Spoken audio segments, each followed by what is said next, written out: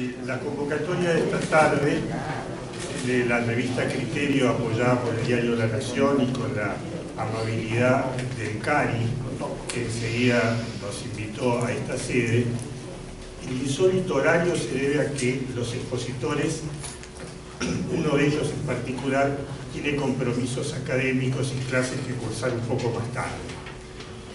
El tema es muy amplio lo va a coordinar eh, Claudio Jacqueline, que es el secretario general de la Nación. El tema es muy amplio y lo irán llevando con preguntas y respuestas los panelistas. Eh, en primer lugar, quiero presentar al profesor Lori Sanata, que es de la ciudad de Bolonia, de la Universidad de Bolonia. Es profesor de Historia de América Latina comentarista sobre América Latina en varios medios de su país. Es autor de numerosos trabajos sobre el peronismo y la Iglesia Argentina. El último título fue La larga agonía de la nación católica. Yo tenía conmigo acá un clásico de él que es el populismo. Eh, Jimmy Barnes Marañón, eh, periodista, escritor, miembro del Consejo Directivo de la revista inglesa de Tablet, que fuera fundada por su padre. Fue corresponsal de eh, periódicos ingleses durante 30 años y entre ellos le tocó vivir en la Argentina entre el 81 y el 86. Son hombres todos viajados, eh, Vance residió en Lisboa en Madrid y recientemente ha publicado un libro que editó en España y que tiene que llegar, Franciscus, el Papa de la Promesa. Es una larga y completa biografía. Bueno, ha cubierto temas tan eh, diversos como la guerra de Malvinas. estos fueron los ingleses. la guerra de Malvinas o ahora está escribiendo una biografía de Messi. Se divierte, no tiene mucho. Y como les decía, este, los dejo en manos de Claudio Jacqueline, que tan amablemente aceptó este debate.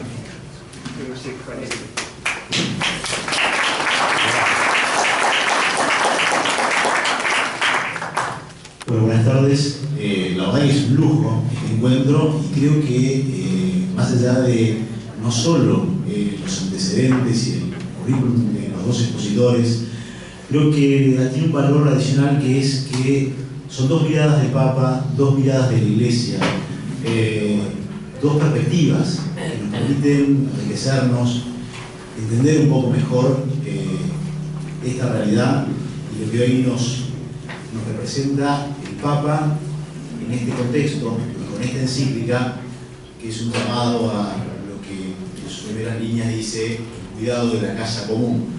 Creo que además tiene el valor de tener a dos expositores que nos conocen demasiado bien, conocen demasiado bien nuestras tradiciones, nuestra cultura, nuestros mitos, nuestros muchísimos defectos y nuestras pocas virtudes. Eh, creo que es un enorme valor, eh, como decía antes José María, desde el populismo, las Malvinas, Maradona, Messi y ahora Francisco. Eh, creo que esta doble mirada que hay y estas diferencias que son tan enriquecedoras cabe para que este diálogo tenga mayor valor y sea más fructífero, recordar alguna palabra de un abuelo de Jimmy, el gran Gregorio Mariano, que decía que ser liberal es primero estar dispuesto a entenderse con el que piensa de otro modo. me parece que ese lugar de encuentro, ese lugar de, eh, ideas diferentes, encontrar un punto común, van a enriquecer esta charla. Eh, yo sé que Jimmy quería ser expuesto primero a las preguntas, así, ir al toro, como dicen, este, haciendo honor a sus antecedentes españoles, este, pero eh, creo que sería bueno también arrancar con alguna exposición breve que, Loris este, quería hacer como para dejar un punto de partida y después pasar a las preguntas. Bueno, bueno, muchas gracias a todos. Eh, buenas tardes.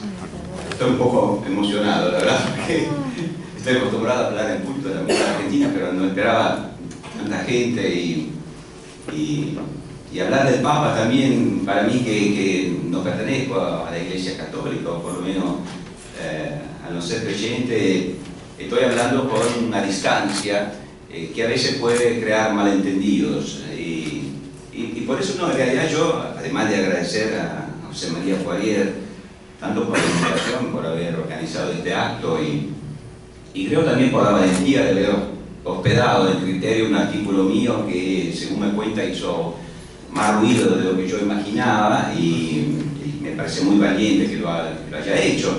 Eh, pero la mía no, nada más quería hacer, quería hacer una premisa, una pequeña premisa casi metodológica diría, para explicar cuál va a ser mi postura al hablar de la encíclica, precisamente por eso, para evitar malentendidos. Y un poco para exponer los temas que a mí me parecen más relevantes desde la perspectiva con la cual yo leo eh, la, encíclica, y no solo la encíclica, también los otros textos de, Papa Francisco, y a lo mejor le ayuda también eh, al moderador para guiar un poco las preguntas, pero lo que quiero decir en esta pequeña premisa es que, claro, yo miro y leo la, la, encíclica realmente de una lejanía cultural extrema. Eso lo tengo que decir de entrada, me siento muy lejano, eh, pero sí, como acabamos de decir, el, liberal, no en sentido doctrinario, sino en sentido, digamos, eh, cultural, amplio, ¿no? de persona abierta, de persona que se siente libera. Eh, bueno, está bien que trate de entender el más lejano especialmente, así que me encanta confrontarme sobre temas que, repito, esto tengo que explicarlo, me quedan muy lejanos. O sea, yo al leer la encíclica pensé, mira, yo estoy, yo pienso o tengo una actitud totalmente opuesta. Eso es, la verdad.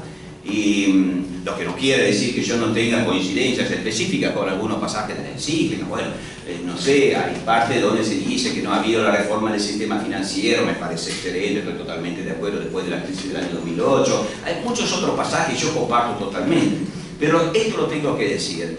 Eh, porque hay un principio holístico, y después volveremos a lo mejor, es uno de los temas que a mí me interesa desarrollar, eh, desde el cual se mira al mundo, y no solo se mira al mundo, sino al lugar del hombre en el mundo, y se mira también no solamente a la naturaleza, sino a las organizaciones sociales, una aproximación holística que está exactamente a las antípodas de mi manera de eh, ver al mundo. De manera que, esto lo digo, eh, atención, pues yo tengo una lejanía extrema y lo veo desde esta perspectiva.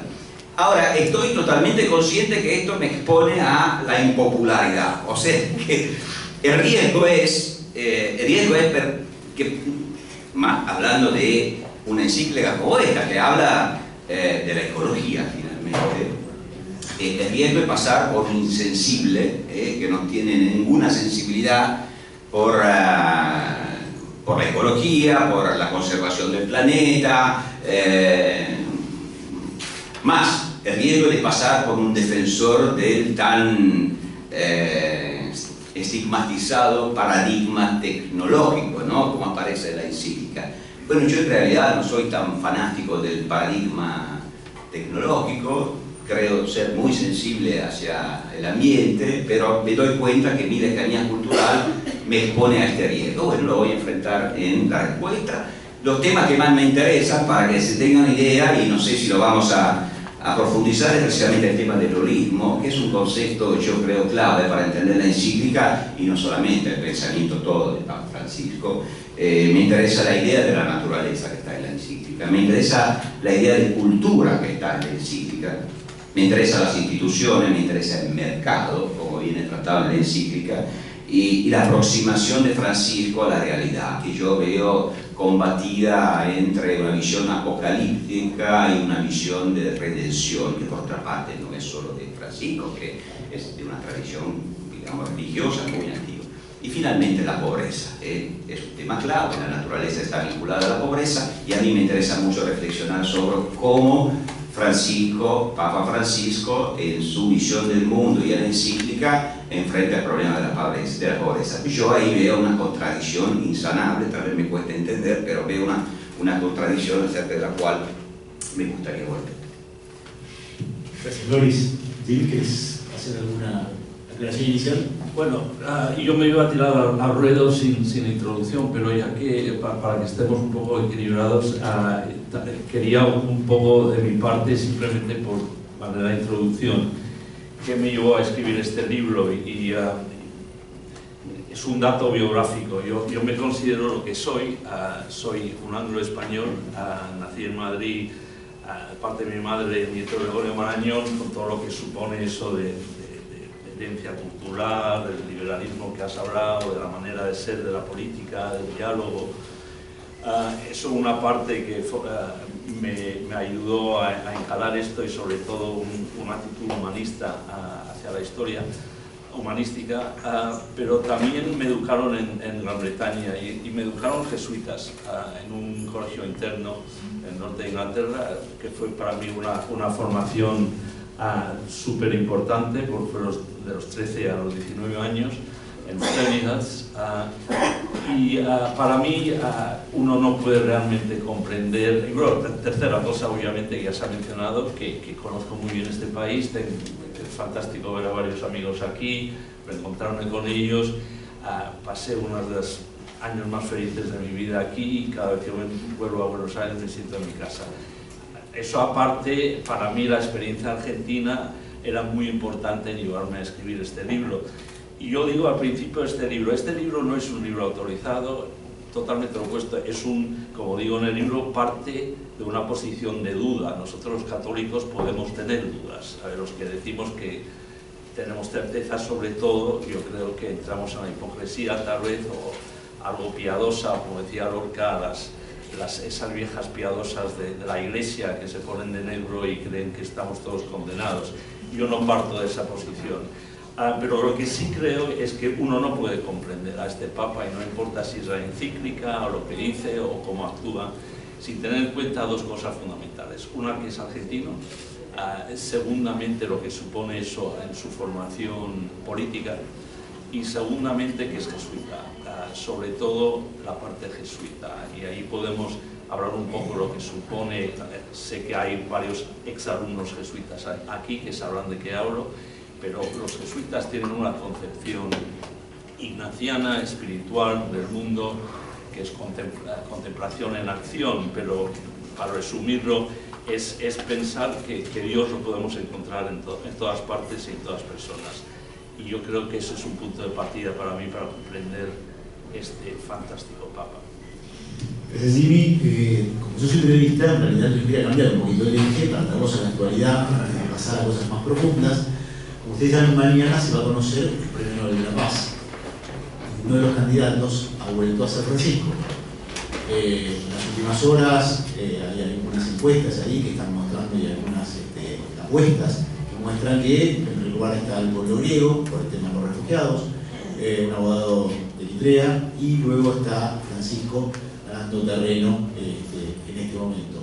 Con lo cual, yo voy a empezar preguntándoles por qué sí Francisco debería ser premio de la paz o por qué no. Bueno, yo creo que es un, excelente candidato. ¿Por qué? Porque uh, aunque no ha logrado todo lo que nos gustaría ver en este mundo, uh, pero es sin duda uh, el, líder espiritual par excellence en un, un mundo de una carencia de liderado político tremendo, de una carencia de estatismo, de una crisis de instabilidad basada en, en, la corrupción de la dirigencia política en varios países, de las instituciones, de la falta de sentido cívico de la, comunidad, de lo que somos, que lo que debe ser una sociedad, un, sentido de bien común. Y este Papa para él todas estas cosas son muy importantes. Uh, y ha habido cosas que yo creo que es un ejemplo de por lo menos de, diálogo, de, como decía mi abuelo y lo, mencionaste, el, el, la política es una manera de escuchar al otro, más que chillarle o, decir no estoy de acuerdo, es escuchar, dialogar, constantemente estar abierto a la posición del otro. Bueno, yo creo que si eso no hubiese sido una posición de la Iglesia bajo Francisco, no hubiese habido un acuerdo en Cuba, habrá algunos de vosotros aquí que estará desacuerdo que jamás se debía de, de, negociar con los Castro, pero yo creo que para la paz del siglo XXI, tener todavía la Guerra Fría con los Castro en Cuba, antiamericanos, um, del lado de, de, de, los venezolanos en contra del resto del mundo, uh, no era un, una receta para, uh, para estabilidad.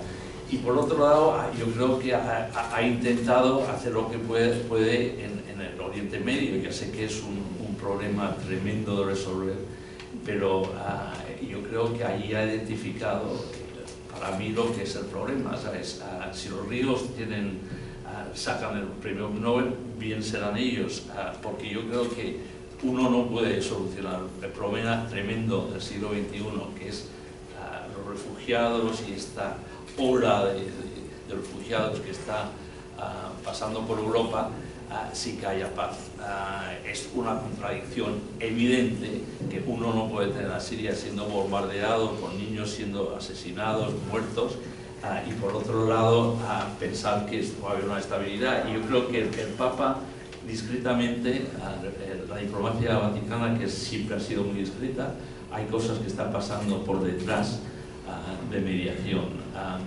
Colombia es un tema que no ha salido exactamente como la gente pensaba, pero también ahí ha jugado un papel discreto el Vaticano. Uh, yo personalmente creo que el acuerdo de paz de Colombia debía haber sido votado con un sí rotundo. Eso lo pudimos discutir después si el Vaticano debía meterse en eso o no.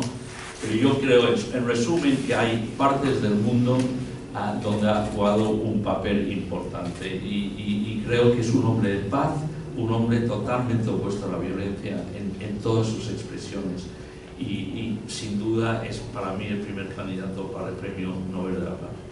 Flores. Sí, no, sobre, perdón, ¿no se escucha? Sí, se escucha. ¿Se escucha? Sí. Ah, perdón. Eh, no, sobre este tema voy a ser muy breve y no tengo, no tengo además disenso con respecto a lo que dijo Chimo, porque, eh, porque, claro, ¿a quién darle el premio Nobel por la paz sino al Papa? O sea, yo doy por entendido que el Papa es un hombre de paz.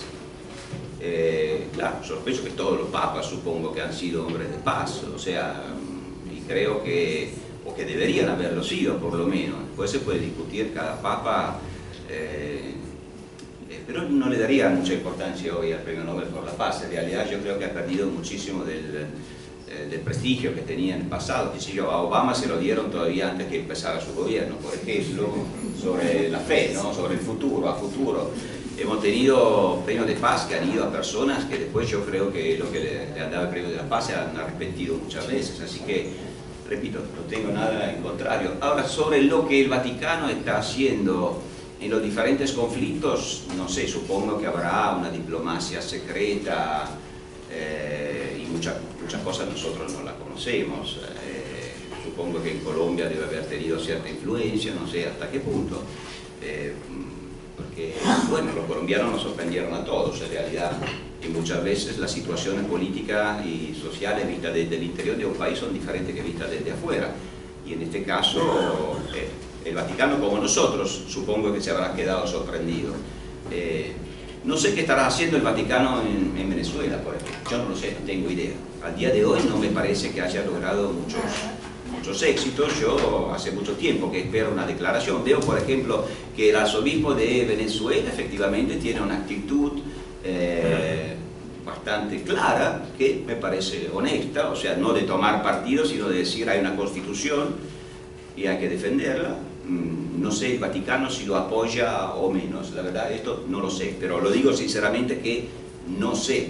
Eh, pero dicho esto sobre el premio por la paz, eh, más yo creo que ya que el, los principales candidatos eran Santos y la FARC, y, y, vimos cómo ha terminado, supongo que en estos momentos el Papa será el candidato más probable, no sé. Tratando a lo que nos convoca, hay como dos visiones muy claras respecto de la encíclica. Hay una que dice que es un llamado potente a preservar el planeta eh, y con cursos de acción propuestos, y hay otra que dice es otra simplificación de un problema complejo. Eh, y no hay más que eso en esos términos. Eh, y esto es lo que me gustaría plantearle. ¿Qué es lo que ven? Si realmente hay ese llamado que convoca, que moviliza conciencias, o en realidad solo se queda en esa convocatoria y este, después hay poca sustancia y algunas propuestas que puede ser dudosa su realización o su consecuencia. Loris. Me toca a mí Te toca a vos. Lo, sospechaba. No, no, lo temía, lo temía, lo temía que me tocara primero en este caso. Eh, bueno, yo no soy experto de ecología, eh, soy un historiador que lee, por lo tanto, como puede leer una persona medianamente informada, pero sí que tiene eh, cierta cultura por ser un académico que ha estudiado muchas cosas, pero sin ser un especialista. Ahora, claro, yo reconozco las buenas intenciones, pero ¿quién, quién va a dudar de esto? Bueno, a veces uno puede también decir que el camino del paraíso está empedrado, ¿no? Como era el... Bueno, está empedrado de buenas intenciones, así que muchas veces nosotros mismos en nuestra vida tenemos buenas intenciones y terminamos haciendo daños, ¿eh? nos pasó a todos, ahora no estoy diciendo que esta encíclica va a hacer daño ni de lejos, no lo pienso, las buenas intenciones no tengo la menor duda al respecto, pero a mí la verdad no, convence. Ahora, es un texto complejo, por supuesto, supongo que yo no logro entenderlo todo porque supongo que hay muchos entre líneas también. También es un texto que yo creo que tenga una visión de fondo, pero que también está matizado por muchos aportes diferentes, ¿no? Se ve que hay aportes de un ecologismo bastante radical, me parece, en algunos aspectos. Eh, hay muy, muy llamativas referencias a, a una literatura bastante antigua, en fin, pienso en todas las citas de Guardini que me sorprendieron mucho, porque, bueno, pero a mí no me convence. Mm, Y vamos a ver, supongo que será el tema de toda la charla, así que no voy a, a disparar toda de eso, me- ahora mi, mi impresión. Pero la primera cosa que me llamó la atención, que no tiene que ver nada con lo político, lo social, etcétera, etcétera, eh, es el tema exactamente de la naturaleza. Ahora, no sé, será mi impresión, puedo equivocarme, no sé, pero leí críticas también al respecto. Bueno, la idea de la naturaleza eh, que aparece en esta encíclica es una idea, me parece, muy romántica de la naturaleza, ¿no? La idea de ecosistema como unidad holística, ¿no? Donde todo está interconectado con todo en perfecta armonía. Parece olvidarse que el ecosistema mundial está basado en relaciones jerárquicas y de violencia, ¿eh? del más fuerte que coma al más débil. Eh, entonces, sí, yo no, no entro al tema teológico porque no es mi tema, pero efectivamente cuando leo algunas críticas a la encíclica que dicen, bueno, acá de la, de la- de la naturaleza ha desaparecido el mal. Eh, es una naturaleza armónica, maravillosa, que está incontaminada y, el hombre, con su obsesión de dominio, contamina la naturaleza. Entonces sí, en parte es cierto, es obvio, todos vivimos, todos sabemos ¿no? los problemas que tenemos de polución, de... pero esa idea de la naturaleza no me parece que corresponda a la realidad. No solamente en la visión holística de la naturaleza y del hombre, por el cual todo está interconectado, que la dimensión natural del hombre es la armonía, ¿no? Con, bueno, yo no lo sé. eh, en realidad, si entonces tenemos que ser holísticos de forma coherente, tendríamos que decir, bueno, que si tenemos una población de 7 billones de habitantes en el mundo es precisamente porque el hombre desafió la naturaleza en cierto sentido, porque el hombre al estado de naturaleza padecería epidemias como en la época de Francisco de Asís y la mayoría de nosotros no estaría aquí porque habría fallecido antes del primer año de vida. Eh, entonces, no sé, me parece una visión muy romanticizada, muy abstracta, pero también es el- la base de donde comienza toda, toda la reflexión. Eh, y me parece un límite. Me parece un límite también por los diagnósticos, o sea, los diagnósticos sobre eh, los problemas que tiene obviamente nuestro universo, el sistema de producción, el rol del mercado, eh, donde veo, pero lo veremos después, una demonización que no es muy útil para entender la ambigüedad de los fenómenos y de la economía de mercado, pero esta era la premisa que quería hacer. El holismo me parece un poco contradictorio.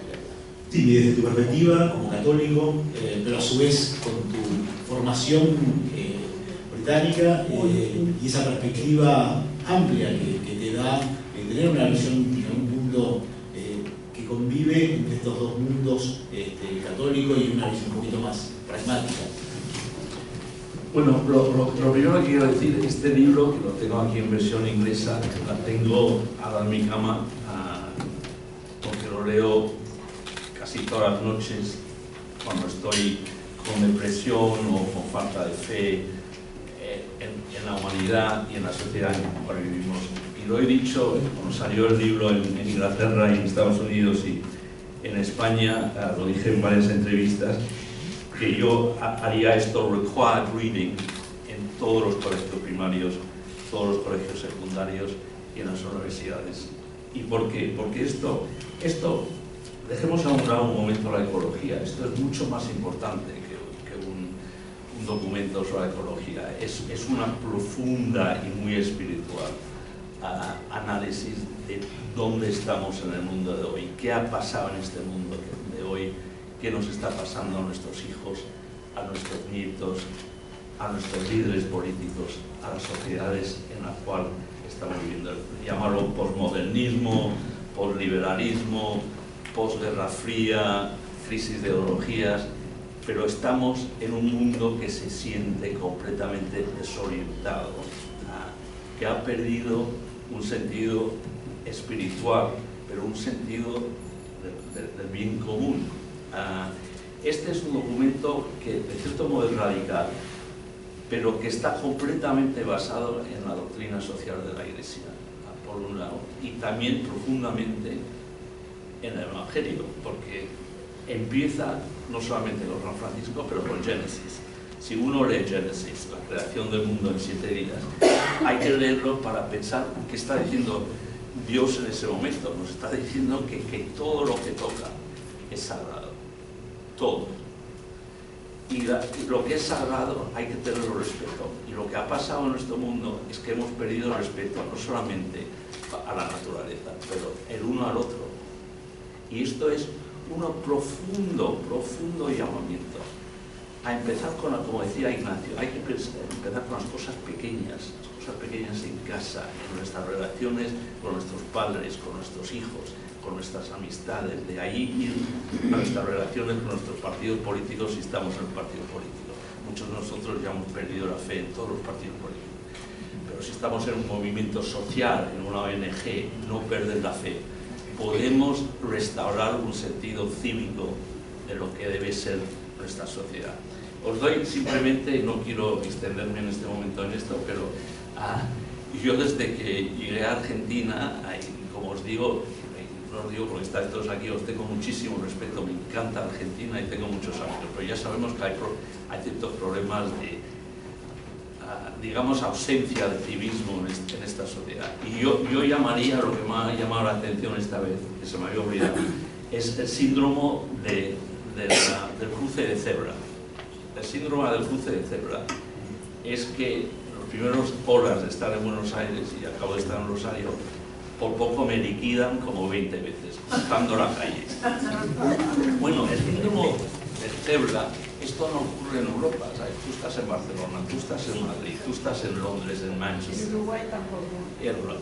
Paran los coches, paran los coches, ¿sabes? No importa si llegan tarde al trabajo, o si están con estrés, o si han tenido un argumento con la mujer, o el, o el, el marido, o con la esposa ese peatón es un humano, está cruzando la calle, tiene todo derecho a, ser primero antes que el coche.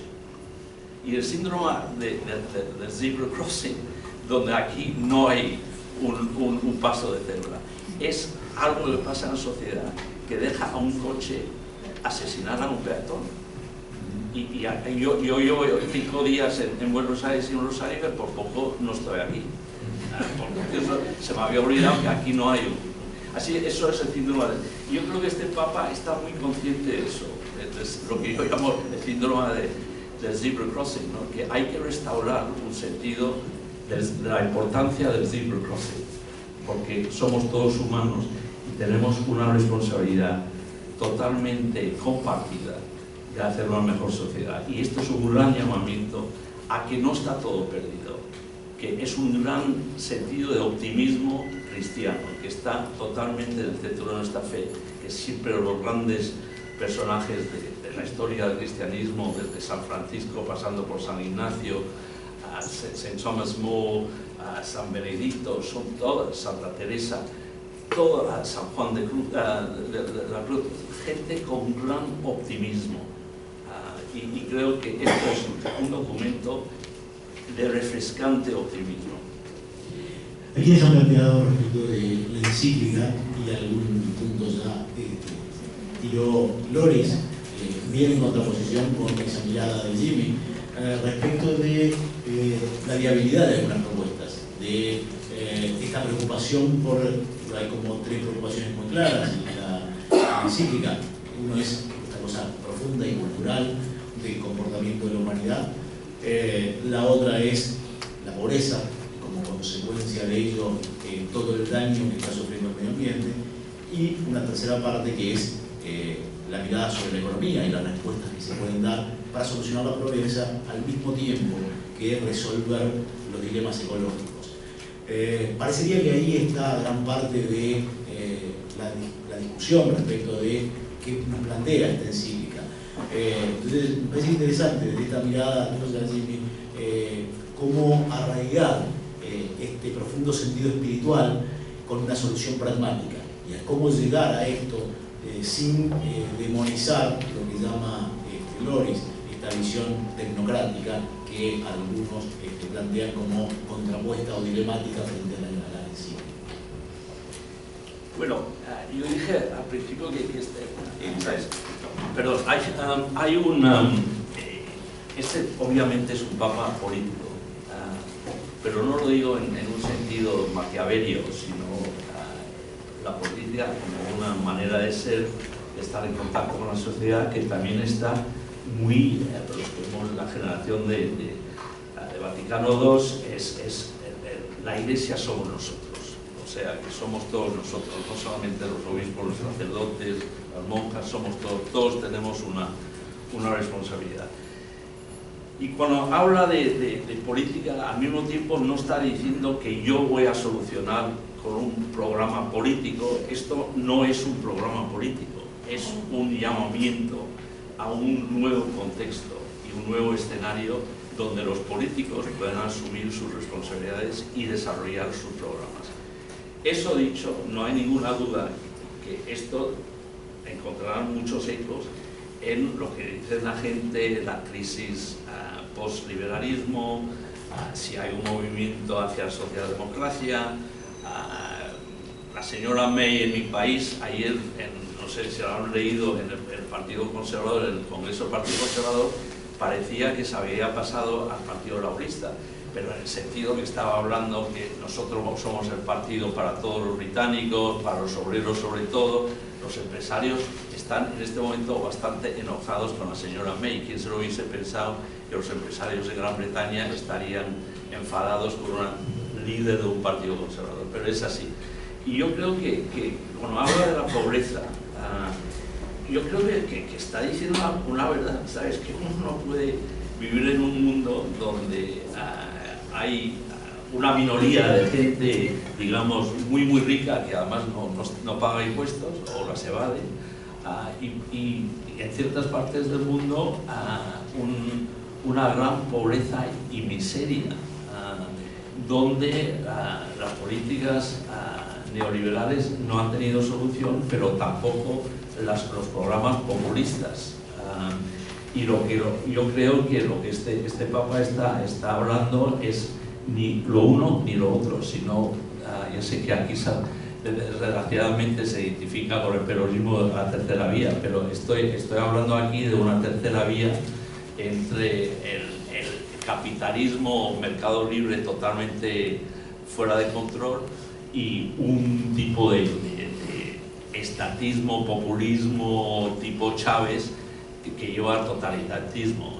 Tampoco quiere eso el Papa, lo que quiere es un sentido, yo diría, socialdemócrata, uh, volviéndose a las raíces, como bien dijo en su speech en, uh, en Strasbourg, que Europa vuelva a esos gran ideales que formaron los alemanes, los franceses y de cierto modo los británicos después, después de la Segunda Guerra Mundial, jamás vamos a tener otra guerra, otro conflicto, pensemos en el bien común. Y eso se ha perdido en Europa y se ha perdido en, muchas partes del mundo y está diciendo tenemos que volver a eso. Podemos discutir en, en pocos ratos si su visión de la pobreza es, como dices tú, en cierto modo romántica. Ah, yo diría que ah, yo estoy de acuerdo con él por experiencia, porque cuando escribí este libro pasé mucho tiempo en las villas miserias. Ah, estuve con sacerdotes a villas miserias y ah, lo que encontré eran dos mundos completamente en conflicto. Por un lado, los narcotraficantes, con todo lo que supone en términos de derrame social, violencia, destrucción de la familia, y por otro lado, una honestidad en la pobreza, una cordura, una responsabilidad de familia, de protección del niño, que ojalá tuvieran mucha gente rica. Eso parece tocar un tema que Loris ha transitado y es, en algún momento ha dicho, preocuparse por la pobreza no es este, asegurarse combatir la pobreza, podría llevarse esto a la ecología y una mirada un poquito entendés como minificadora de la pobreza?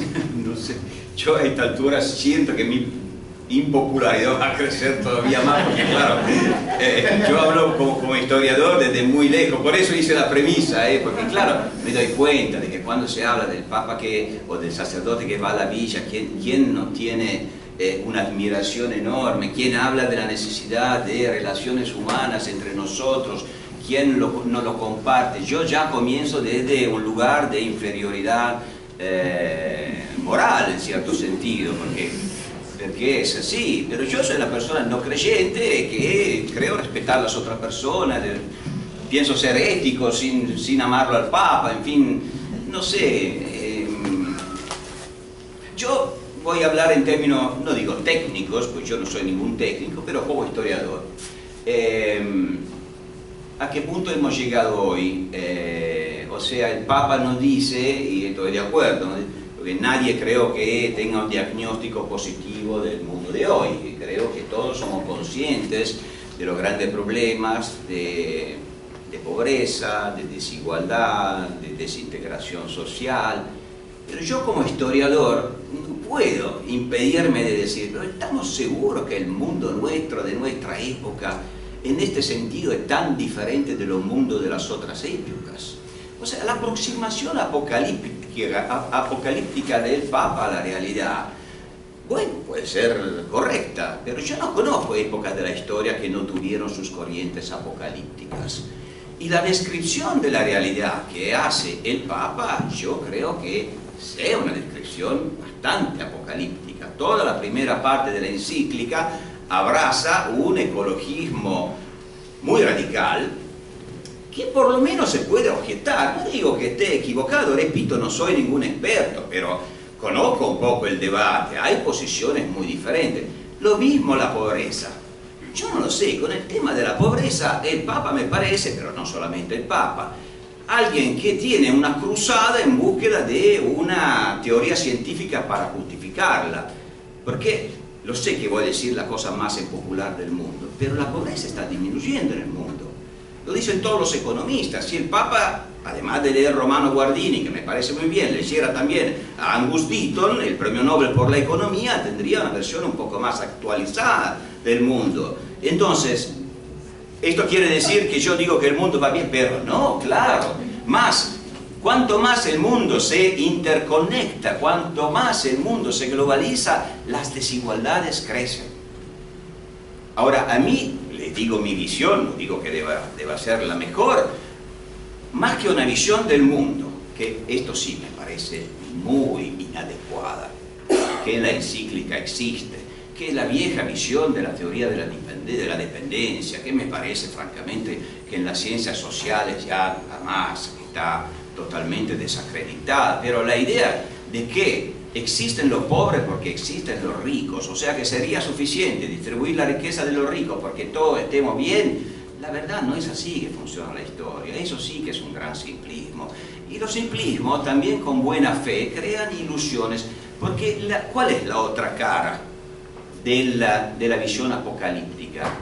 Es la redención. Si el mundo está mal, al punto de estar en peligro de desaparecer, entonces eh, el hacer lío, o sea, el ser redentivos, entonces se justifica. Por otra parte, no es esta una innovación teológica ni discursiva del Papa, esto pertenece, eh, digamos, a toda la, la, la, religión monoteística. Pero la encíclica es curioso, en la encíclica esto aparece. El Papa habla de, bueno, después de presentar el Apocalipsis, habla de una revolución cultural. Y a mí me gustaría también la palabra, aunque históricamente tiene ecos un poco inquietantes, ¿no? lo que quisieron hacer eh, revoluciones culturales muchas veces en nombre, porque claro, cuando uno tiene frente al, apocalipsis la, la, perspectiva de la redención, pero todo está justificado, atención, o el Papa habla de escenarios extraordinariamente radicales, o sea, de cambio radical del sistema productivo, es notable que el Papa evita nombrar la palabra capitalismo. Siempre nombra el mercado, y voy a añadir algo sobre esto, habla de sistemas productivos, pero no usa la palabra capitalismo, pero es obvio que está hablando del capitalismo. Es una encíclica radicalmente anticapitalista.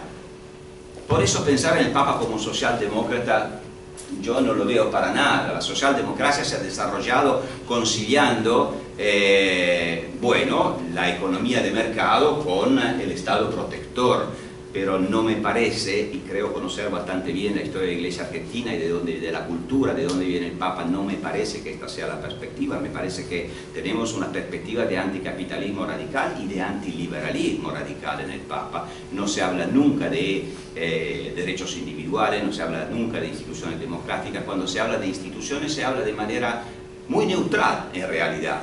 Y cuando se habla de cultura, después a lo mejor, a lo mejor lo tratamos, se habla de cultura singular. Y este es un tema que después quisiera profundizar. Pero claro, la redención, la idea de eh, hay que cambiar radicalmente el sistema de vida, el sistema de consumos. Ahora, claro que a esa altura a uno se le ocurre pensar y preguntar, pero ¿en qué manera?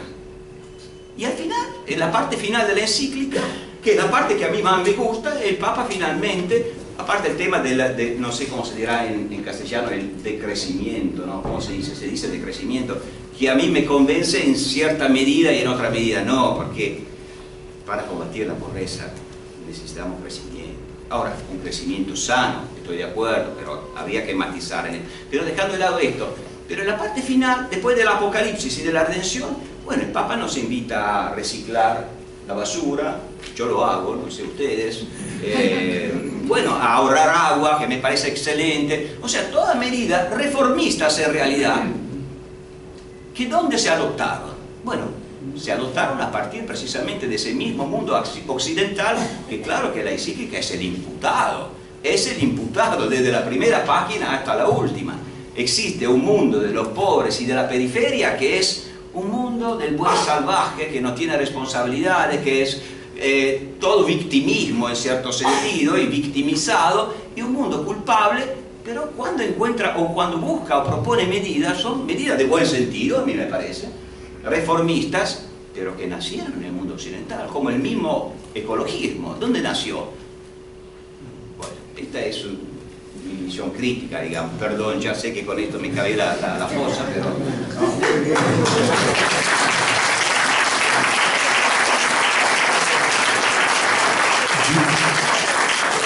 es también mucho más eh, sólido en, lo espiritual que tiene la encíclica, eh, pero es cierto que es una encíclica que eh, apunta a un tema muy concreto, muy práctico, a un tema muy urgente, si se quiere. y esa urgencia tiene también su contrapartida con la acción, que es lo que hacemos. ¿Advertís algún tipo de inconsistencia en ese llamado a la acción, en ese, o eh, una mirada eh, un poco ingenua respecto de esa acción, que es un poco lo que, sostiene Lores? Eh, me parece que es interesante ver desde tu perspectiva cómo, cómo, ves a, ese llamado a la acción, desde la posibilidad de que esto se concrete o no, y cuál es el impacto concreto que advertís para los próximos años cuáles serían los acuerdos que debería haber entre los países, porque sin duda que esto requiere un acuerdo internacional para llevarse a cabo. Bueno, primeramente, no quiero entrar en una, una, una pugna dialéctica uh, con, con, mi colega italiano, pero eh, en cierto modo es, es, que hay una insinuación en lo que ha dicho que, que, que para mí tiene ecos de la reacción que tuvo uh, esto en ciertos sectores de, del Partido Republicano en Estados Unidos y en ciertos sectores en Alemania uh, neoliberales en el sentido que le acusaron de ser un marxista-leninista que es totalmente absurdo, porque lo que no tiene el Papa es un, un análisis, como historiador lo debías reconocer, no tiene un, un análisis materialista uh, de la historia. Um, insisto, esto es un, un documento uh, sumamente, prioritariamente espiritual, teológico, y uh, no, no pretende ser un programa político. en términos de llamada a la acción, como dije antes, yo creo que lo que está llamando es un cambio de mentalidad y uno no puede uh, cambiar el mundo si no hay un, un cambio de mentalidad. Um, tú decías que, que, el mundo occidental es lo que ha enseñado a todo el mundo las vías, ¿no? Bueno, uh, yo he estado en ciertas comunidades uh, de Latinoamérica donde, por ejemplo, que no han sido influenciadas por el occidente, donde hay un, gran respeto a, la ecología basada en, su propia religión y su propia cultura. Papa habla de, de, la madre tierra y yo creo que es, es un aspecto bastante importante, además viendo a Dios no solamente como hombre, sino como mujer. Uh, que es, es, muy importante um, y eso está completamente basada en, en, la, en la, teología uh, digamos, de, de, de, la Iglesia desde el Vaticano II para, para, ahora. Yo creo que en términos de llamada de acción es, es, sin duda una llamada de acción para, para, no solamente el Occidente, sino para todo el mundo. O sea, este, este, Papa ha viajado muchísimo y cada parte donde ha estado ha reflejado lo que ha dicho aquí, ¿sabes? Así que, por ejemplo, cuando, cuando la gente decía, bueno, cuando llegó a Bolivia se quedó en, en, en el bolsillo de, uh, del líder boliviano ahí. No es verdad, ¿sabes? habló en un, en un discurso, habló de peligro del totalitarismo, de falta de democracia. Uh, de mi punto de vista, sí falló en una cosa, que no habló suficientemente uh, de la, la, mala ecología de las minas, donde hay gente pobre, las cooperativas que tienen el peor récord de, de ecología política en, en, casi toda Latinoamérica. Pero eso aparte, yo, yo creo que, que, este Papa, uh, insisto, es un Papa que nos está diciendo, mira, uh, yo no soy Juan Pablo II que os voy a decir a todos uh, que el comunismo es malo y el occidente es bueno. tampoco soy un Benedicto que, porque nací en Alemania, soy un eurocéntrico por naturaleza. yo soy una persona que vine de Latinoamericana. Vine de la realidad de un continente donde yo llego de Rosario uh, esta mañana en un colectivo y me encuentro con una villa que no solamente es igual que la que había hace 30 años, pero cuatro veces más grande.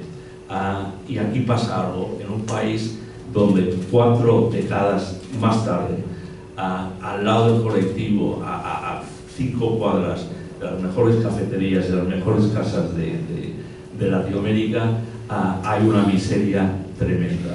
Uh, y este Papa viene de eso, viene de eso, y no viene porque es peronista o porque yo sé que hay gente aquí que piensa que el Papa es un peronista. Sin duda, su contexto de evolución fue en el momento cuando se hace sacerdote, precisamente se hace jesuita, con el golpe contra Perón, y yo lo digo aquí que sin duda su familia era peronista. Eso no lo dudo, y, bien saben mis amigos aquí, yo he escrito muy crítico, críticamente del peronismo y la influencia sobre la política de este país. Pero simplemente definir a este Papa como un peronista que está metido en un romanticismo, como dices, yo creo que eso es un insulto a, a muchos movimientos socialdemócratas de, Europa, a nuevos movimientos cívicos, tanto en Europa como en el tercer mundo, que no se identifican con el neoliberalismo. Eh, tú, eh, Jimmy,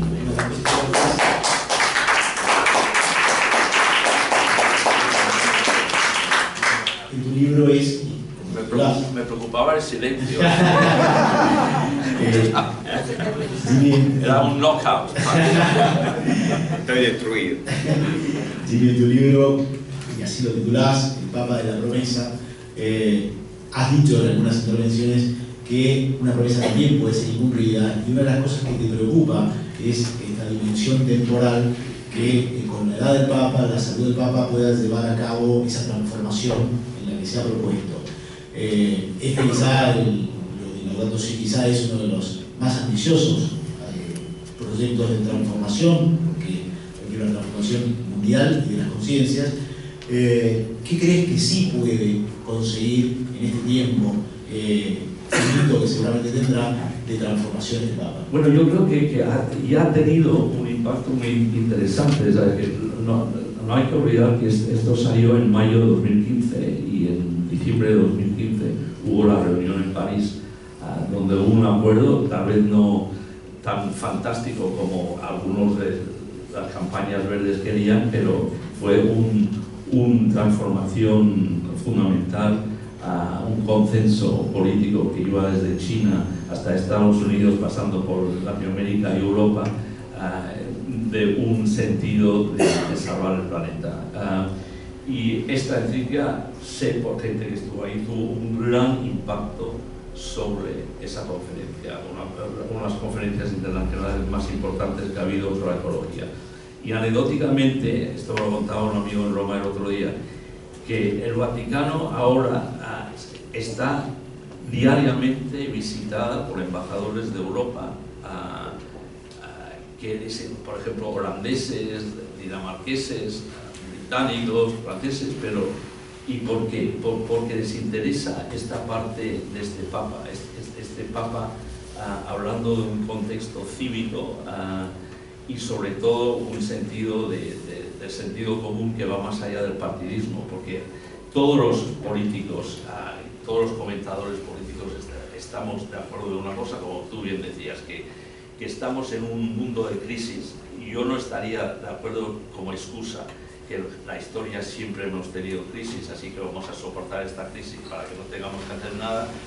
Yo pienso con el optimismo cristiano que la historia es mejorando la humanidad constantemente y no podemos decir que simplemente porque tuvimos dos guerras mundiales vamos hacia una tercera, porque eso sería ah, para eso para lo que estamos hablando aquí, realmente. Y tu visión desde esta perspectiva que, así como eh, Jimmy califica al Papa de la promesa, tú has calificado al Papa populista, hay quienes han definido... Ahí, ¿por qué lo repetiste acá?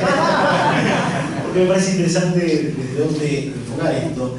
Eh, hay quienes dicen que eh, el populismo es la permanente subordinación del largo plazo a las urgencias del corto plazo.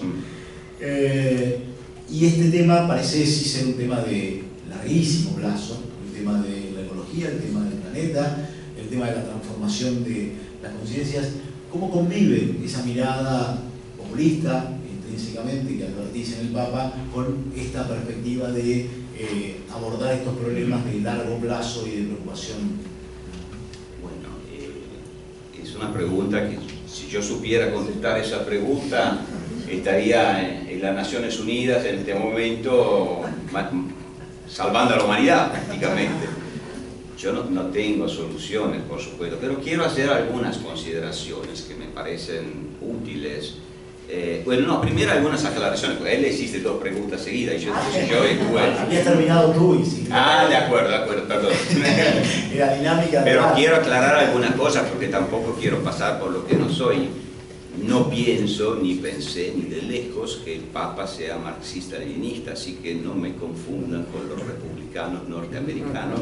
No soy un Trump italiano, no tengo nada que ver, por favor, no quiero que se confunda en ese sentido pero sí, al haber crecido en una familia comunista, puedo decir que muchos comunistas son muy jesuitas. Eh,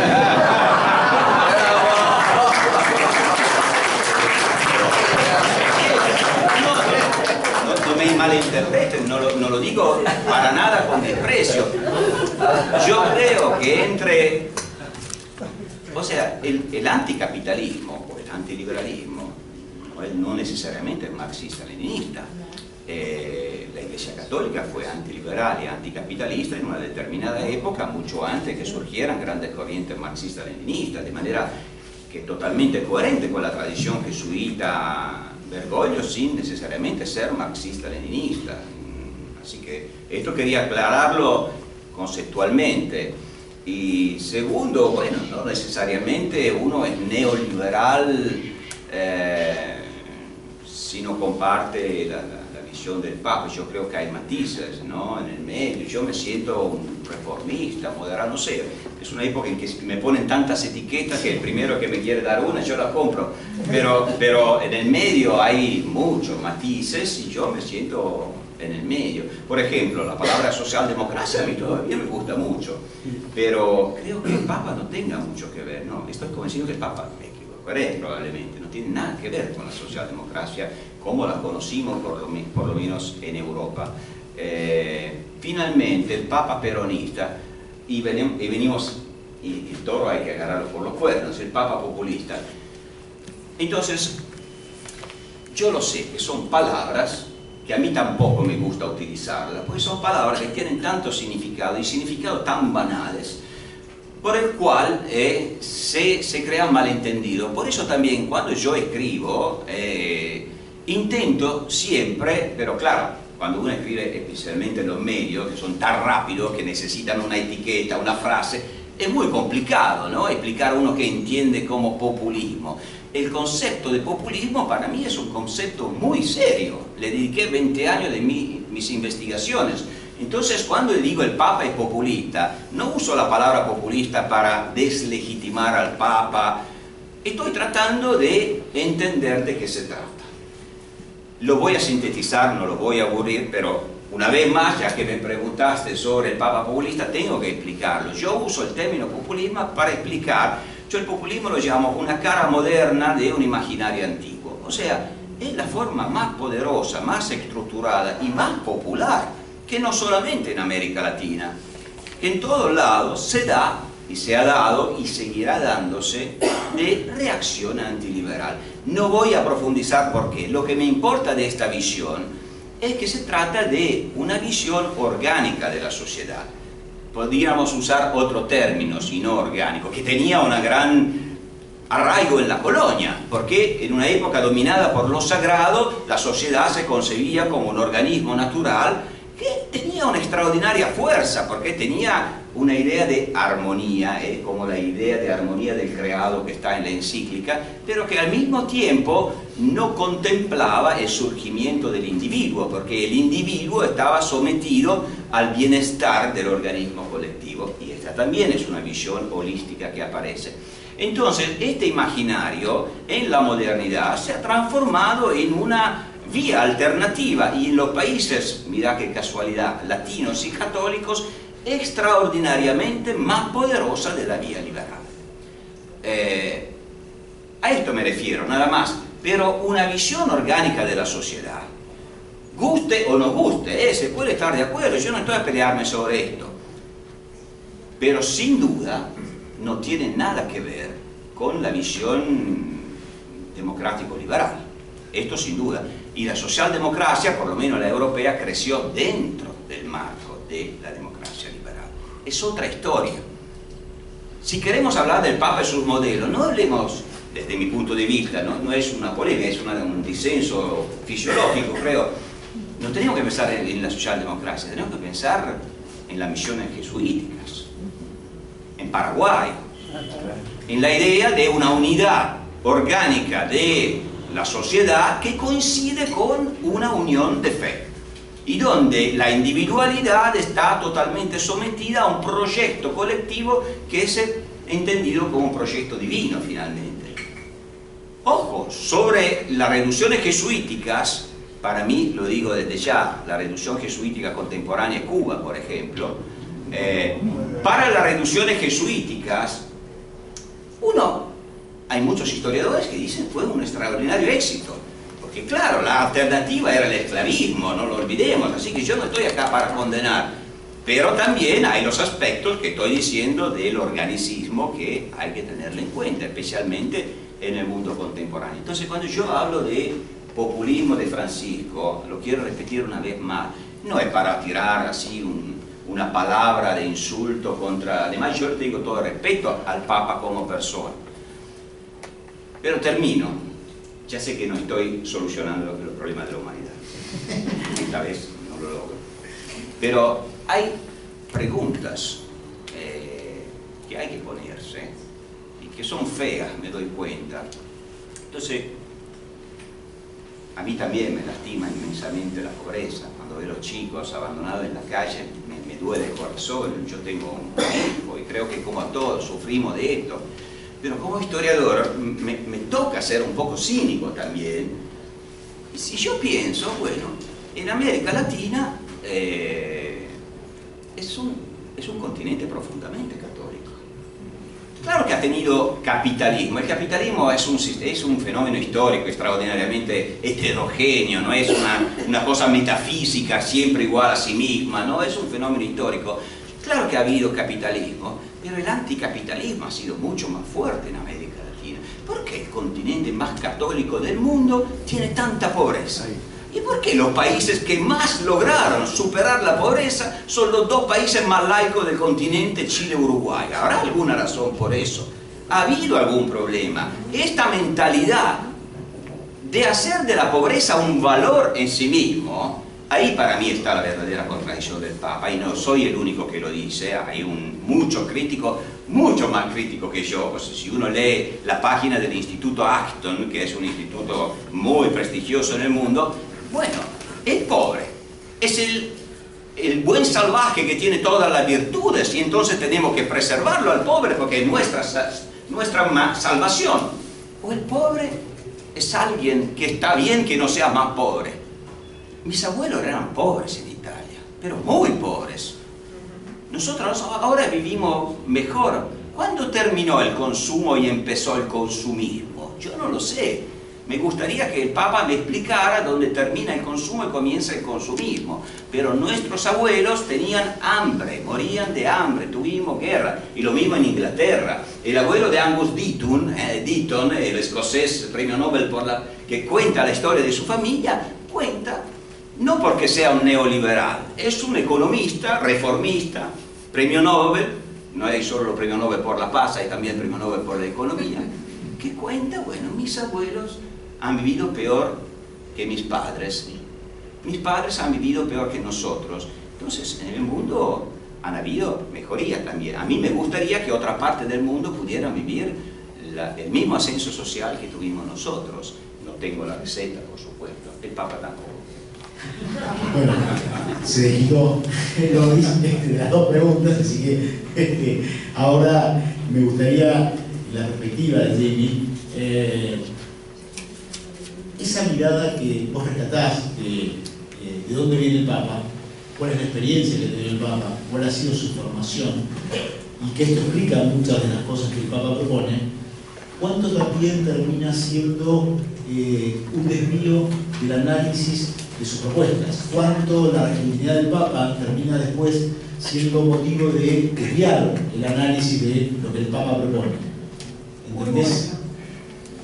Pero en términos de distorsionar...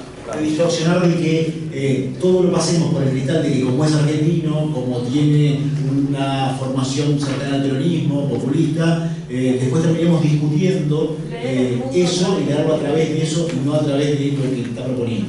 ¿Cuánto crees que eso aporta? Visto una parte positiva y otros vemos, este, y se ve acá expuesto, una parte negativa en esa formación. Bueno, yo creo que obviamente es es, argentino, pero también es por las razones porque fue elegido papa, fue porque tuvo un papel muy importante en Aparecida con los otros obispos de Latinoamérica, así que viene desde un punto de vista, yo diría, continental. Mira, yo, yo, creo que ah, obviamente, y esto lo, toco en el libro, ah, hay un, peligro ah, de pensar que el, Papa es un, papa simplemente argentino que, tiene una visión distorsionada en base de, su propio background y, su contexto personal familiar. Pero yo no, yo no comparto eso porque yo creo que está diciendo unas cosas que, se pueden aplicar uh, mucho más allá de, Argentina. Pero hablando de populismo, por ejemplo, lo que no hemos hablado es, corrupción. Lo que el Papa vivió muy de cerca en este país uh, fue corrupción. Tú decías que la pobreza ha ido disminuyendo. Bueno, según leído aquí hemos aumentado la pobreza de 3% a 30% en cuestión de semanas. Que dicen que es estadísticas, pero aquí pasa algo. Uh, así que la, que la pobreza ha disminuido, uh, depending de, de, de, qué perspectiva lo ves. En el mundo, En el mundo, pero si vas a África tampoco creo que, que vas a encontrar que ha disminuido la... Y en Medio Oriente, peor. Uh, lo que está diciendo el Papa es que todo está interconectado. Este, de cierto modo, y lo digo en el, en el libro, que este es el primer Papa global, uh, no argentino, sino global. Teníamos Juan Pablo II, un Papa para sus tiempos, uh, muy, muy formado, obviamente, por su experiencia en Polonia y la ocupación soviética, creado en toda la dialéctica de, de, de la Guerra Fría, comunismo, anticomunismo, y luego obviamente Benedicto, que, se, que, estaba aterrado de lo que vio en los años 60 los estudiantes alemanes, en, como bien sabes, en, la universidad donde estuvo Hans Kuhn y creyó que esto iba a ser la revolución, la violencia, uh, el marxismo que toma toda, toda Europa del Norte. Y, y, eso fue la formación de esas dos personas. Yo creo que, que este Papa, como consecuencia de su experiencia, uh, sobre todo como arzobispo de, de, Buenos Aires, donde vio la corrupción del kirchnerismo en este país, uh, hubo una transformación en esta persona. Realmente el, el, el, el, el Papa que llega al Vaticano en el, en 2013 es, es un, un, Papa muy diferente al Gregorio, digamos, que se formó en la época de Vita y, y Perón. Sin duda que nos trae a un, a un debate que hoy en la Argentina está. Eh, algunos dicen y han dicho que algunas de las cosas que el Papa manifiesta eh, en, lo que tú manifiestas respecto de la corrupción del kirchnerismo y algunas manifestaciones posteriores, algunas actitudes que ha tenido con el nuevo gobierno, que en definitiva el Papa eh, termina siendo partícipe de la interna peronista eh, y que algunas cosas que se manifiestan en ese sentido están teñidas por eso. Eh, Loris, vos has visto algunas de estas cosas y me parece que es interesante tu, tu percepción. No, un, un, italiano que, que en habla de la interna peronista es un suicidio No, no, no voy a... Además. Pero no, tu pregunta que es la misma, prefiero la que deciste a él. No, porque además creo tener algo al respecto para decir, pues estuve reflexionando mucho sobre esto. Eh, no, bueno, lo primero, que el Papa esté muy metido en la política argentina, no tengo la menor duda, pero en muchos casos tampoco, no sé si el Papa quiere o menos, yo no tengo ninguna idea, pero yo escribí muchos libros precisamente sobre lo que yo llamé, así que me autocito, la cosa más horrible del mundo, pero el mito de la nación católica. O sea, yo creo que efectivamente tener un papa argentino, para muchos sectores argentinos, por lo menos del campo llamado nacional popular, que siempre se identificaron en ese mito, bueno, el papa puede ser una fuente de legitimación. Entonces es una legitimación por afuera del sistema político, por afuera del sistema constitucional, de manera que el Papa a lo mejor puede entrar en, en la vida política argentina aunque no lo quisiera. Es una autoridad, es una autoridad moral que está allí y probablemente muchos argentinos, no probablemente, lo sé, porque ustedes saben mejor que yo que hay decenas, centenares de políticos, sindicalistas, etcétera, argentinos que van a Roma y, bueno, lo van a visitar al Papa, pero supongo que también tendrán otra motivación en términos de legitimación interna. Por otra parte, como italianos, nosotros Papa tuvimos un que sabemos, sabemos que no, pero en sentido bueno, es obvio que el Papa es una figura espiritual, con un carisma extraordinario, es obvio que tiene una influencia enorme en la política interna, quiero quiera o que no lo quiera, eso es. Pero en una cosa estoy de acuerdo que muchas veces me van a, a permitir, a veces, eh, pero este también es inevitable, pasaba también en Italia con los papas italianos, los, los ciudadanos del país de donde viene el papa tienen la tendencia a tener una visión un poco provinciana del Papa, piensan que el Papa es, eh, eh, si siempre se ocupa y piensa en Argentina, el Papa es un gran líder universal y efectivamente hay que verlo en su dimensión universal. Y al respecto yo tengo una idea, por ahora hemos hablado mucho del Papa argentino y ahora vamos a ver el jesuitismo, o sea, es muy importante. Eh, Jimmy al comienzo hablaba justamente de eso y me parece muy importante y recordaba ¿no? eh, los jesuitas y un poco cuál, cuál es su misión histórica. Eh, bueno, son misioneros, ¿no? Es la idea de eh, una universalidad del, de los valores católicos y del cristianismo que viene desde el 500, cuando había misioneros acá, desde el nacimiento de la Compañía de Jesús, misionero en China, en India, Pocos saben, por ejemplo, que el país en el mundo donde hay más jesuitas es India. En India hay más jesuitas que en cualquier otro país del mundo. ¿Por qué es importante esto? Bueno, la tradición de los jesuitas se suele llamar la tradición de la inculturación, quiere decir, o sea, no sé si se dice en castellano, Igual, más sí. o menos se entiende, sí, bueno, por suerte, italiano. Bueno, si me equivoco nos entendemos igual. Pero es la idea de, bueno, existe la universidad, la universalidad del mensaje cristiano, pero hay que adaptarlo eh, a las circunstancias, a las costumbres y también a la espiritualidad local, ¿no?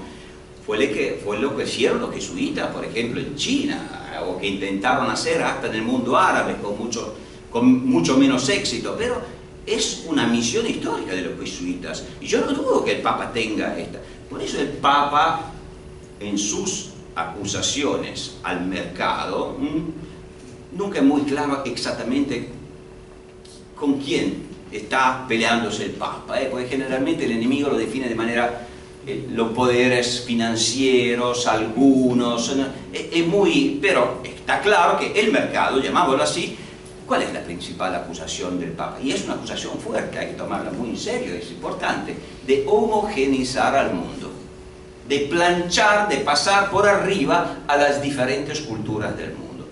Es un problema, no se puede no tenerlo en cuenta. Claro que yo también lo veo desde otra perspectiva, porque cuando el Papa habla de culturas, habla de cultura al singular. O sea, el Papa utiliza la palabra pluralismo, que es una palabra del vocabulario en realidad de la ilustración, pero la usa como jesuita. Pluralismo de culturas. Pero él usa la palabra cultura singular, como si efectivamente cada, no sé, civilización, llamámosla así, tuviera una cultura monolítica. Y ese es un problema, porque entonces si la iglesia es universal, ¿qué pasa con las culturas que ya son casi todas las culturas del mundo? Menos tal vez las culturas aborígenas que quedan en un gran aislamiento, pero todas las culturas del mundo son ya culturas plurales. Entonces, ¿qué pasa con las minorías de esa cultura? Porque el Papa lo que está postulando es una pluralidad de culturas que no son plurales muchas veces en su interior. ¿Qué hacemos con la minoría de esta cultura? El Papa nos está diciendo que las tenemos que aceptar así como son. Eh, yo no sé, tengo dudas al respecto. Yo no estoy de acuerdo en este sentido.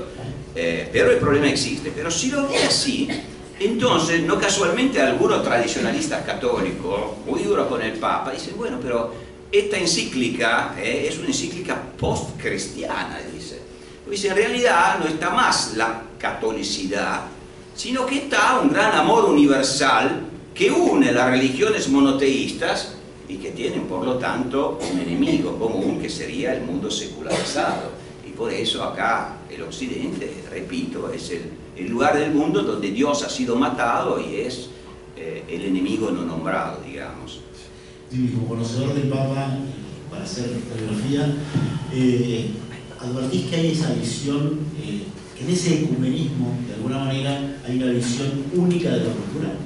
No, absolutamente no. Y yo, yo creo que es que yo veo una cierta contradicción, defines lo que es ser, jesuita y luego sigues a decir que esto es un, un papa que quiere que estemos todos exactamente igual. Lo, que yo aprendí de los jesuitas, y, se lo debo a un amigo que está aquí, que me, dijo toda la gente educada por los jesuitas, que pasan desde los hermanos Castro, a Bill Clinton, a Freddie Mercury, a no sé si Donald Trump, pero un, montón de gente bien diferenciada. Pero el hecho es que, que los jesuitas la gran cosa, y que lo confirmen nosotros exalumnos de los colegios jesuitas, nos dejaron, no era una imposición de ideas, era una, una, una habitación abierta como esta, donde las ideas eran una corriente fresca de intercambio, de diálogo y de escuchar al otro. Y eso, eso es la educación jesuita, ¿sabes? No es como el Opus que es, es, es totalmente jerárquica y, y, monolítica, es decir, como, aunque están cambiando los de los, gracias a Dios pero los jesuitas siempre han sido mucho más abiertos. Y, yo creo que, ah, yo, yo, no me identifico, yo, yo, no reconozco al Papa, sobre el cual he pasado tres, tres años ah, investigando su vida y, su, su papacy, en, lo que dices, es que no, no, no, lo, no lo reconozco, es que no... Y además es que si realmente fuese así, Ah, no sería, como tú bien has admitido, este es el gran líder espiritual de nuestros tiempos. Y, hay que definir una cosa, una es el humanismo y el otro es el fundamentalismo. Este Papa está absolutamente claro que está en desacuerdo del fundamentalismo tanto en Islam como en su propia iglesia. Y sus enemigos, para mí, están casi mucho más dentro de su propia iglesia que fuera de ella. Puedo aclarar una cosa, porque creo que ha habido un malentendido, tal vez me expresé mal yo. Eh, por supuesto, yo no sé si los enemigos del Papa los tiene principalmente dentro de la Iglesia. Eh, es un gran líder espiritual, no para todos, ¿no? el mundo está muy variado. Pero yo no quería decir, si lo, si lo hice entender, me, me, equivoqué, pero lo voy a explicar a través de un ejemplo. No quería decir que el Papa quiere un mundo unívoco basado a lo mejor en la, en la fe católica, en un amor universal. Estoy diciendo algo diferente Estoy diciendo que la idea del Papa es que en el mundo hay diferentes culturas y que cada cultura, cada cultura, son todas diferentes entre ellas y muy diferentes entre ellas, pero que cada cultura es concebida como una especie de eh, cultura eterna, de cultura que tiene rasgos que no se modifican con el tiempo y que van respetados como tales. Les hago un ejemplo a través del lenguaje. Cuando el Papa viajó a Estados Unidos y habló frente al Congreso, bueno, habló de libertad. Habló de libertad. ¿Por qué? No lo dudo, porque por el Papa, tenía totalmente razón en su visión, bueno, forma parte de la identidad histórica de Estados Unidos la libertad. Venía de Cuba, en Cuba la palabra libertad no la pronunció ni una vez, ni una vez. Bueno, no es, no estoy diciendo, no estoy haciendo cálculo político, no me importa. Estoy diciendo que desde su postura, el elemento de la libertad para un país como Cuba, colonizado por España, etc., no es probablemente el elemento fundamental de la identidad de esa cultura. Eh, esto nada más quería decir, no estoy diciendo que quiere cultura todos igual, al revés, es lo de que acusa el, mercado, es el mercado que homogeniza la cultura. Para ir cerrando, quería hacer dos preguntas desde dos visiones distintas, como estamos viendo, desde dos conocimientos personales del Papa, y hay una discusión que está latente que es respecto de cuál es la densidad y la consistencia intelectual de este Papa. Porque hay muchos que cuestionan o se preguntan si realmente, sobre todo algunos que lo comparan con Benedicto eh, o con otros papas, o con la, su propia formación y su propia eh, inclinación política desde tu perspectiva, Jimmy, y me gustaría también la tuya, este, Loris, ¿cómo ves este Papa y, cómo se traduce eso en sus documentos y en sus este, manifestaciones? Bueno, volvemos un poco a Marañón, ¿no? porque eh, yo creo que lo que hay que identificar en, en, este Papa es una manera de ser. Yo creo que, por ejemplo, si uno mira los sinodos, los sínodos, los dos sínodos que ha habido, en ciertos sectores ha causado, ah, digamos, confusión. ¿Por qué? Porque piensan que, el rol del Papa es que se junten todos estos obispos de todo el mundo y, les digan a los obispos, ustedes quiero que hablen sobre la familia, sobre las relaciones humanas y todo eso. Y una vez que han hablado, yo, el Papa, voy a decir, esto es lo que tiene que hacer la Iglesia. Y eso es completamente malinterpretar lo que es este Papa, porque este Papa es un jesuita, un jesuita que piensa en el, en el discernimiento de tener a cuatro o cinco o, 200, 300 personas reunidas y escuchar el uno al otro con ideas diferentes, como tú y yo hemos estado hablando, ah, y no necesariamente llegar a una conclusión. A lo mejor tú crees que eso es una, una receta para el caos, pero yo creo que lo que está intentando romper este Papa es con una iglesia precisamente volviendo, y yo no estoy de desacuerdo de lo que ha sido la iglesia en, en Latinoamérica y lo que fue en España en su momento y lo que fue en Italia en su momento.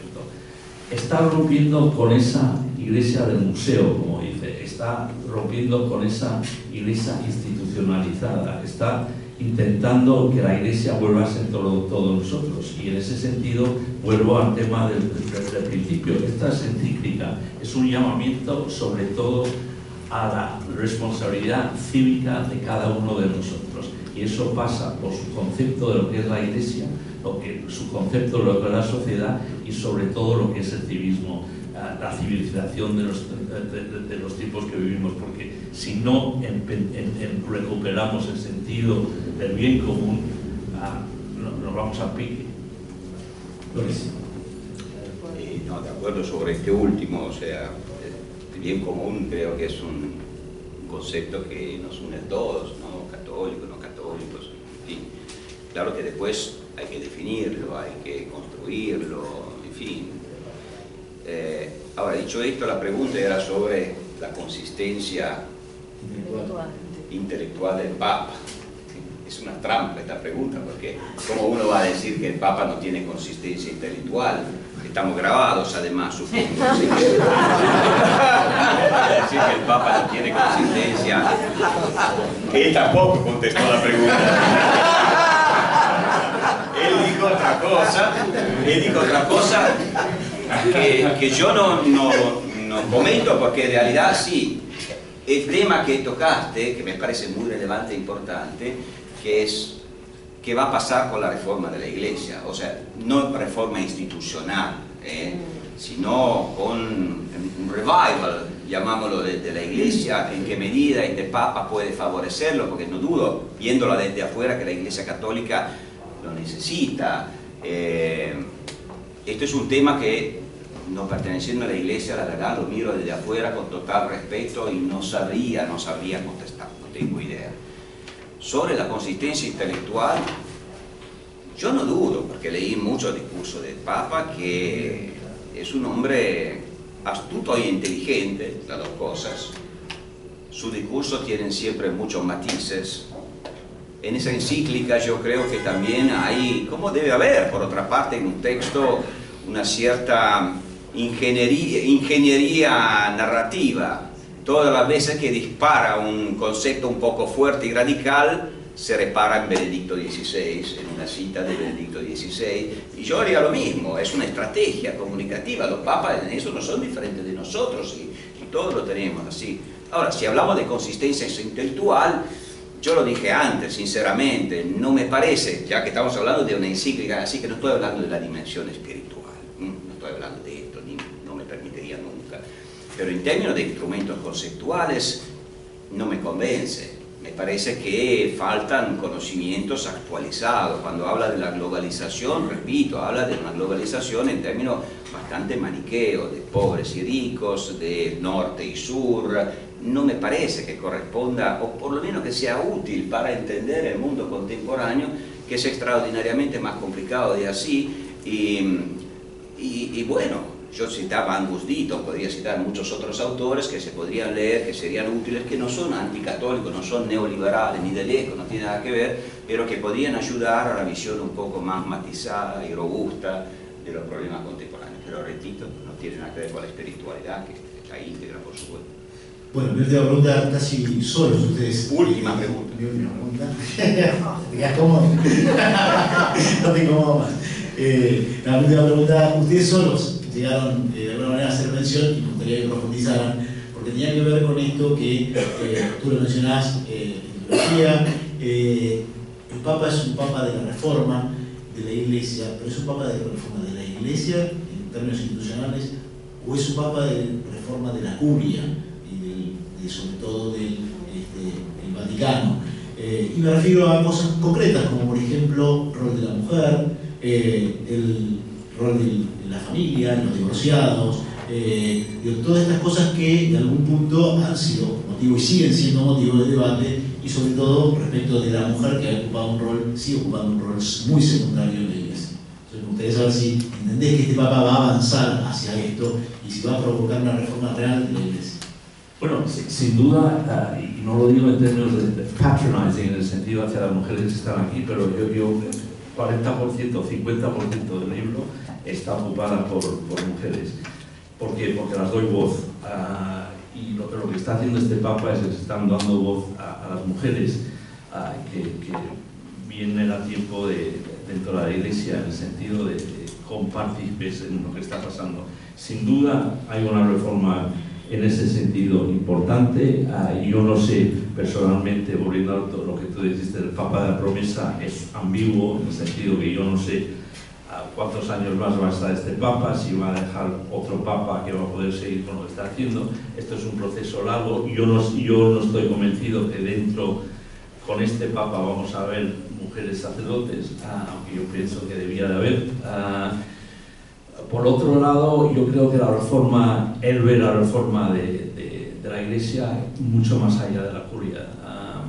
Él, él, ve, volviendo, tú y yo estamos de acuerdo en bastantes cosas, aunque parece una, una dialéctica, pero eh, sin duda uh, él, él, él, tiene usted gran concepto de, una iglesia universal, pero también uh, acepta que en varios países la iglesia tiene sus problemas uh, y lo que le aterra a este, a este papa es un, un, una división total Así lo que no hemos visto con este Papa es ningún cambio, ningún cambio en, uh, en, en la doctrina. Ninguna, absolutamente nada. No se ha tocado, se habla mucho de los divorciados, la familia, no, eso no se ha tocado. Uh, lo que está diciendo es un, un tema de conciencia, así que para mi generación esto es un eco de lo que pasó con Human Evite, que, que yo perdí una, una una generación estamos con una gran confusión, pero al final al cabo uh, nos dijeron que cada sacerdote al cual íbamos nos podía decir si podíamos tener uh, métodos uh, artificiales de contracepción o no, pero en conciencia. Y esto es lo que está pasando ahora, y porque este Papa, lo que sí está absolutamente claro, es que es una injusticia total. En una situación muy concreta, para hablemos cosas concretas, de una mujer casada, católica, en el cual su marido por varias razones o la ha maltratado o se ha ido con otra o con dos o tres otras, infidelidad total, que ella, simplemente por esas circunstancias, sea condenada a no seguir tomando la comunión, es totalmente inaceptable.